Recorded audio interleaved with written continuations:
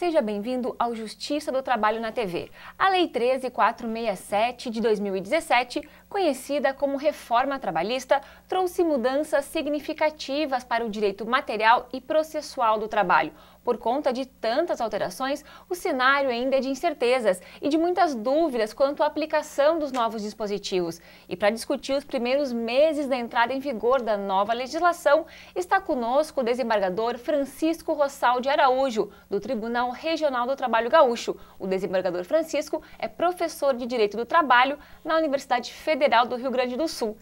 Doutor Francisco, seja bem-vindo mais uma Muito vez, né? obrigado. Obrigada pela presença em nosso programa. Muito obrigado.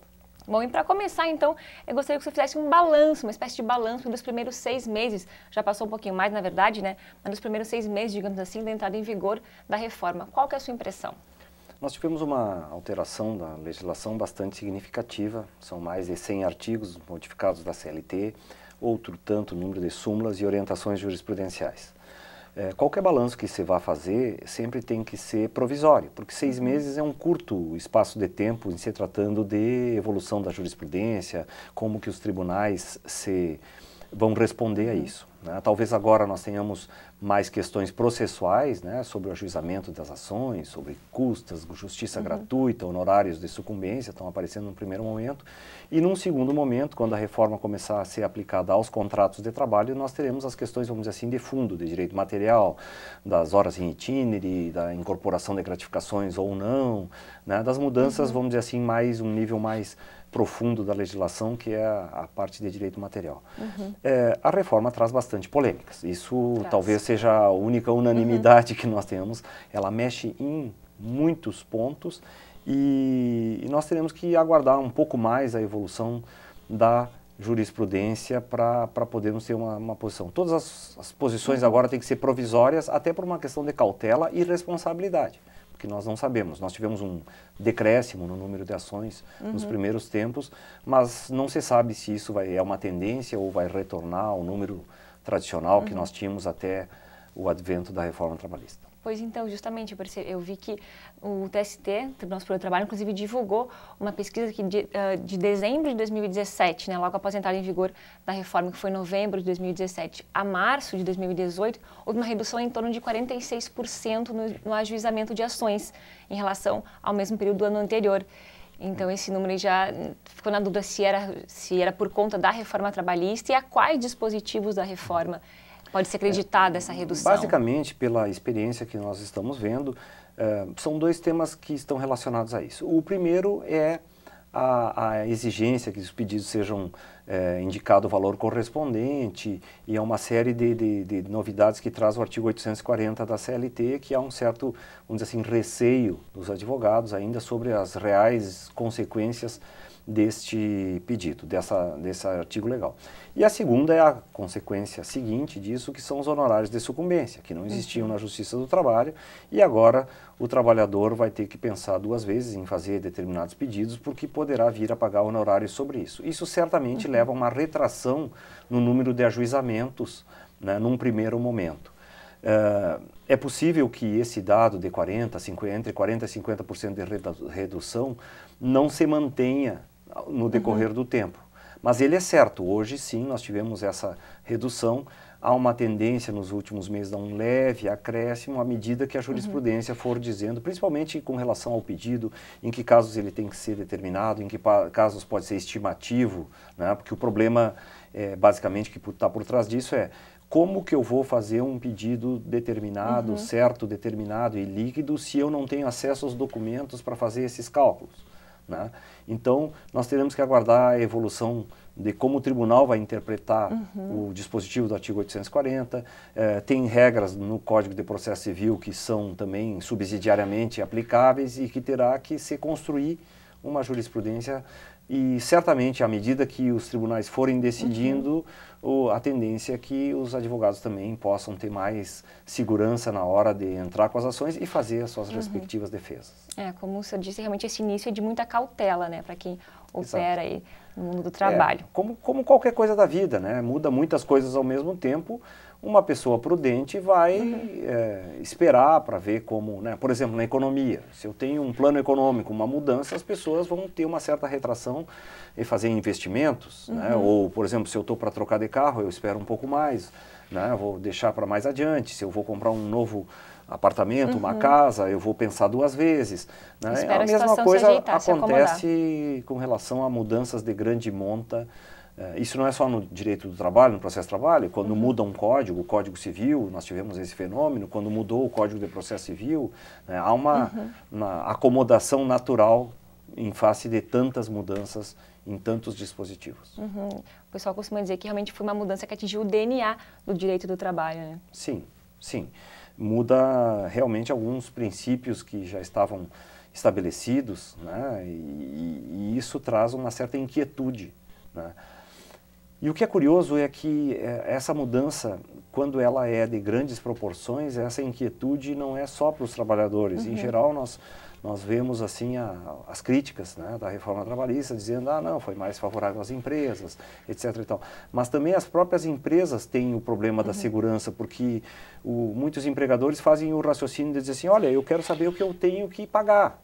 Né? Eu quero pagar uhum. corretamente, mas eu quero saber o que eu tenho que pagar e eu preciso de uma certa segurança para saber se estou fazendo certo, estou uhum. fazendo errado. Então a inquietude é de ambos os lados. Sim, justamente de, agora de saber da opinião do senhor, porque as opiniões em relação à reforma trabalhista, elas são bem polarizadas, né? De um lado a gente vê aqueles que acreditam que ela é puro retrocesso social e de outros que entendem que ela é uma panaceia para todos os problemas, tanto da justiça do trabalho como também da própria sociedade, né? Como que o senhor vê esse maniqueísmo, digamos assim, em torno da nova legislação? É a expressão é essa: nós temos que fugir do maniqueísmo. Né? E para isso, né, vamos recordar qual é a lição básica de vida que a gente recebe dos nossos pais, né, ou que na filosofia nós vamos buscar. Né? É, Platão, num livro uhum. Ética no Incômodo, diz assim: olha, cuidado com as virtudes. Né? O excesso de virtude pode ser um vício uhum. e a falta de virtude também pode ser um vício. Né? O excesso de virtude leva às posições fundamentalistas. Né? Quem uhum. acha que se acha dono da verdade não transige, não negocia nada. E a falta de virtude leva ao cinismo. Tudo se justifica, etc. e tal. O correto é uhum. é mais ou menos o caminho do meio. É mais ou menos isso que nossos pais nos ensinam né, para a vida. Uhum. Assim, olha, seja moderado, controla isso, se for sair de casa, não vai fazer um excesso demais, etc e tal, porque senão tu vai pagar pelas consequências dos teus erros, etc e tal. Então, eu acho que essa é uma boa, um bom começo né, para analisar né, um pouco desapaixonadamente uhum. tanto aqueles que criticam a reforma, né, porque realmente ela tem alguns pontos que, que, que é óbvio que, uhum. que trazem, é, vamos dizer assim, diminuição de direitos dos trabalhadores, mas por outro lado também a reforma evolui em alguns pontos que, bem ou mal, tinham que ser, tinham que ser, é, feitos, tinham né? que ser feitos. Por exemplo, o teletrabalho. Uhum. Né? O próprio trabalho intermitente, que é um nicho de trabalho, eu não sei se a reforma vai ser aplicável, se não vai ser aplicável. Agora, são nichos que a legislação não entrava, uhum. né? ou que deixava muito a, a, e, que eram, soltas, e que eram realidades. E né? que eram realidades. Né? O próprio abuso no direito de petição, né? pedir reclamatórias de A a Z, sem nenhuma responsabilidade, porque não havia consequências uhum. com relação a isso. Então, eu acho que a Justiça do Trabalho é, tem que fazer o que ela sabe fazer. Né? Depurar, interpretar, julgar, uhum.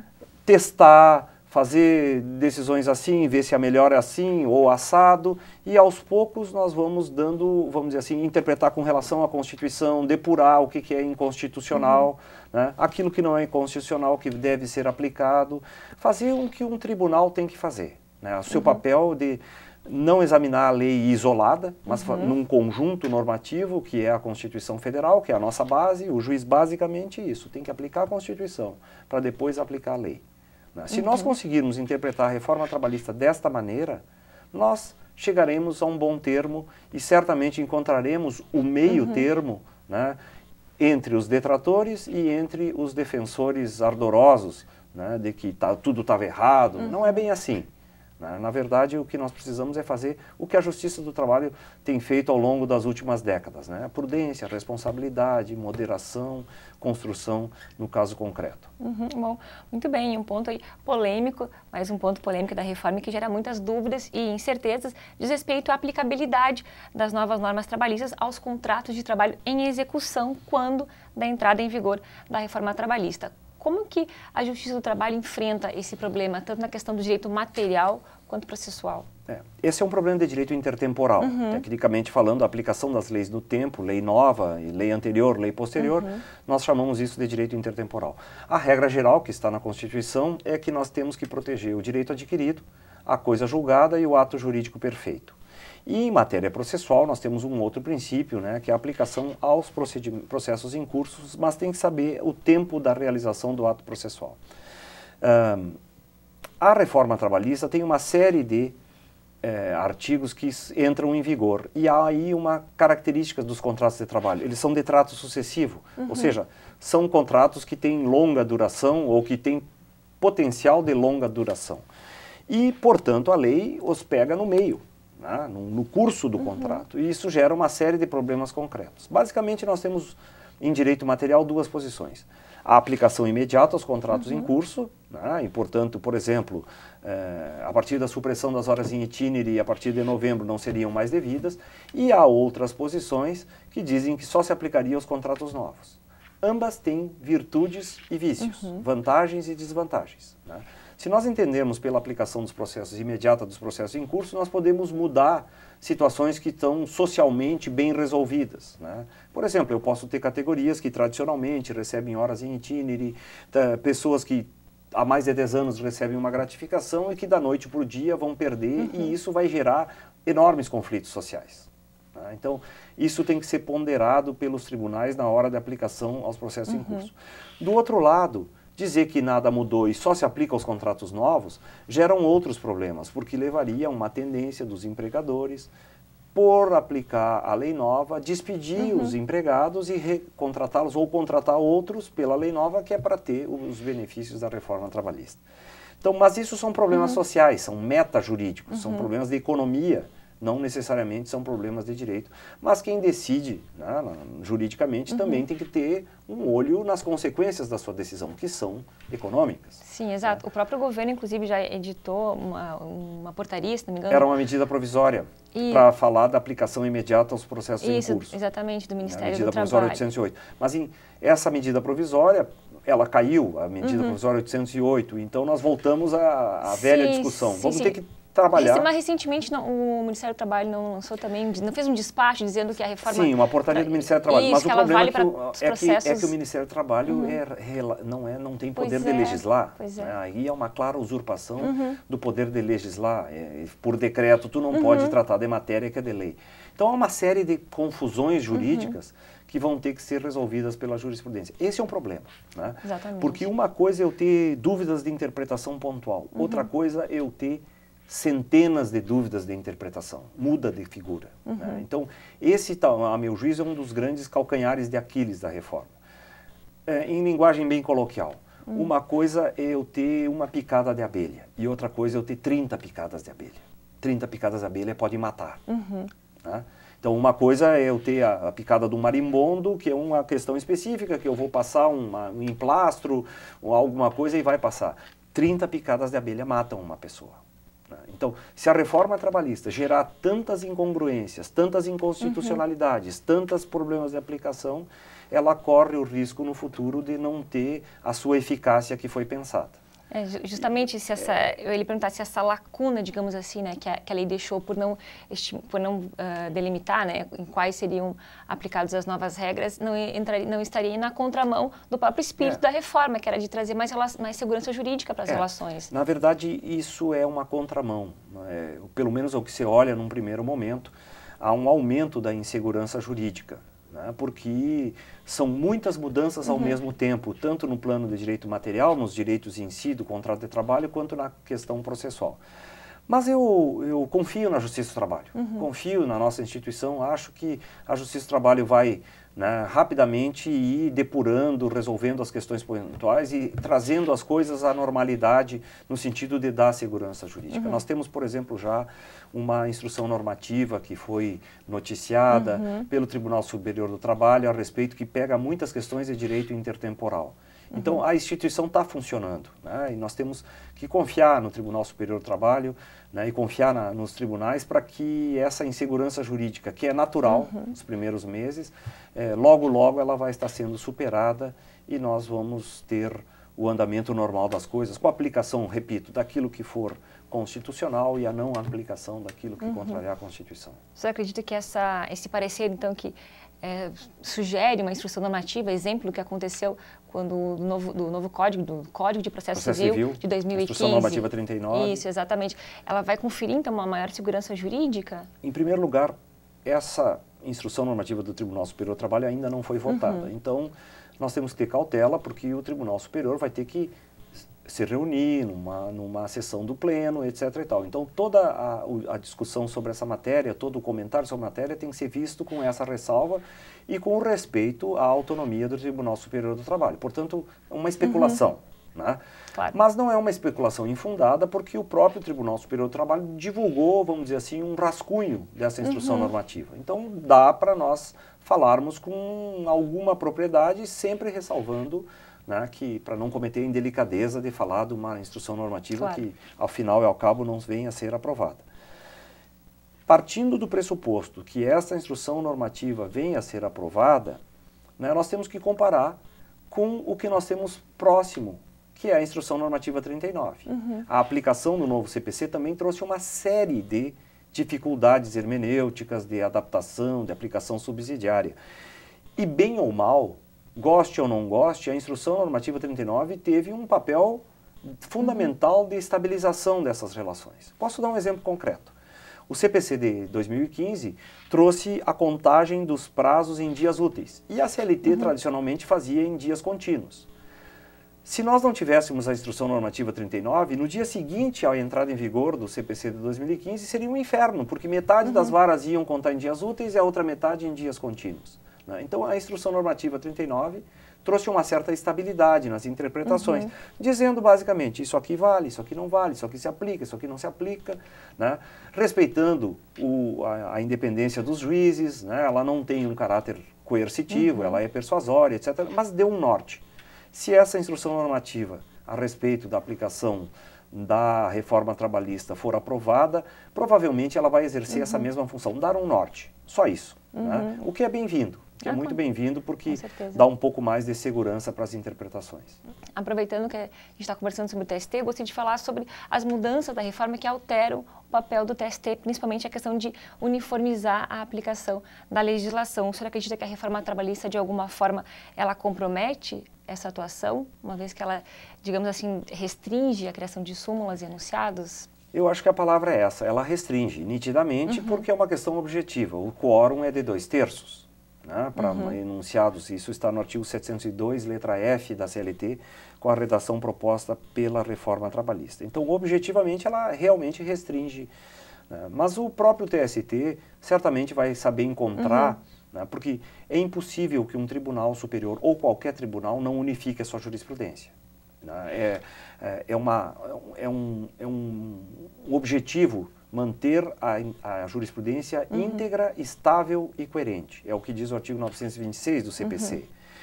Por que isso? Porque se não for por aí, eu tenho insegurança jurídica. Então, é comum que juízes pensem diferente, uma turma decida de um jeito, uma turma uhum. decida de outro, mas a sociedade não pode ficar à mercê dos caprichos. Uhum. Né? Portanto, Uh, é responsabilidade dos tribunais dizer, olha, nós decidimos assim num caso, assim num caso, mas vamos unificar isso para uhum. uma decisão estável, íntegra e coerente.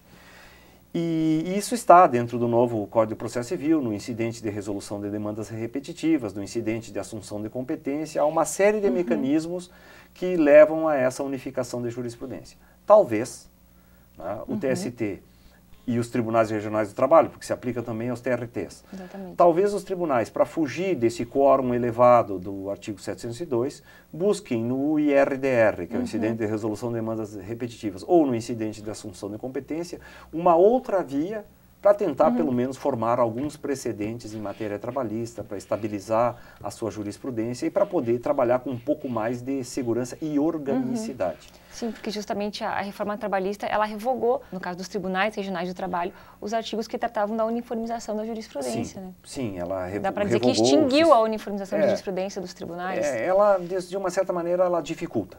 Né? É, uhum. É, é, bem, é bem isso. Ela, ela revogou vários artigos da antiga Lei 13.015, que era a lei do, do recurso de revista e dos incidentes de unificação de jurisprudência.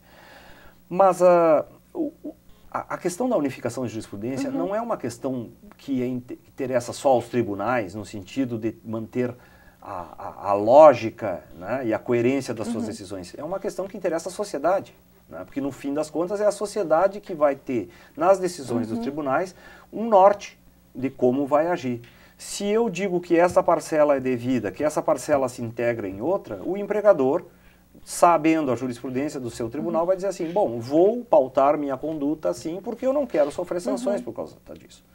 E o empregado, por outro lado, sabendo eu tenho tal direito ou eu não tenho tal direito, vai pautar sua conduta porque o tribunal né, aponta nesse sentido. Então, uhum. isso traz, vamos dizer assim, um elemento de pacificação social.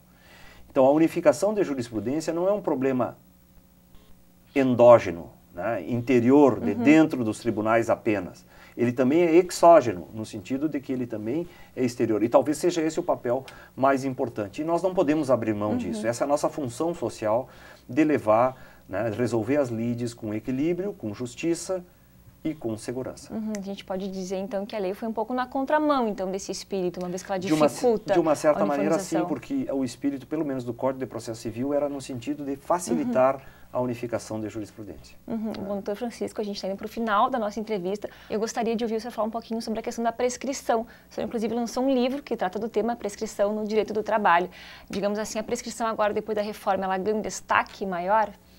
Sim, sim, porque a reforma trabalhista trata de um tema sobre prescrição que é, não era admitido pela jurisprudência do Tribunal Superior do Trabalho, que é a prescrição intercorrente. O Tribunal Superior do Trabalho, historicamente, tinha uma posição refratária a prescrição intercorrente, uhum. súmula 114.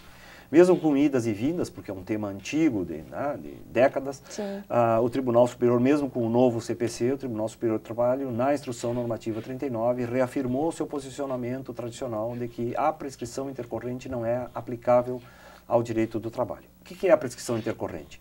É quando o trabalhador ganha o processo, uhum. executa o processo e não move a execução a execução paralisa e ele volta a ficar inerte. Então, dali começa a correr de novo a prescrição. Uma coisa é ele ser despedido e entrar com a ação. Essa é a prescrição uhum. geral.